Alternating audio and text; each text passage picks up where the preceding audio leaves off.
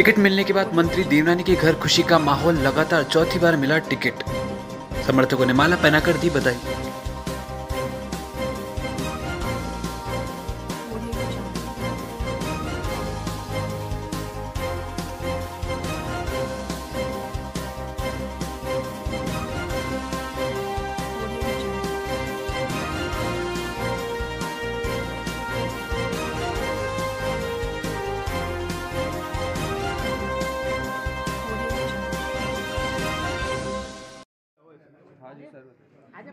Bharatiya Janata party के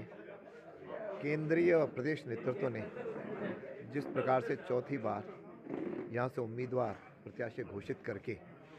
जो एक अवसर प्रदान किया है मैं उनका बहुत बहुत आभार व्यक्त करता हूँ और आशा करता हूँ हम सभी कार्यकर्ता कंधे से कंधे मिला करके एक मुखी होकर के भारतीय जनता पार्टी को यहाँ से विजय श्री दिलवाएँगे क्योंकि लगातार जिस प्रकार से क्षेत्र के अंदर विकास के काम होते गए, हम लोग करते गए और विकास की गंगा निरंतर बहती रहे, इसका हम सब लोग प्रयास करके हम आगे बढ़ेंगे। यह क्षेत्र वैसे भी भारतीय जनता पार्टी का गढ़ रहा है निश्चित कांग्रेस जो पिछले कुछ दिनों से सपने देख रही है,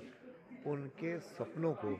हम चूर करते हुए, कार्यकर्ताओं की मेहनत से, उनकी शुभकामनाओं से हम आगे बढ़ेंगे और विजय श्री प्राप्त करेंगे।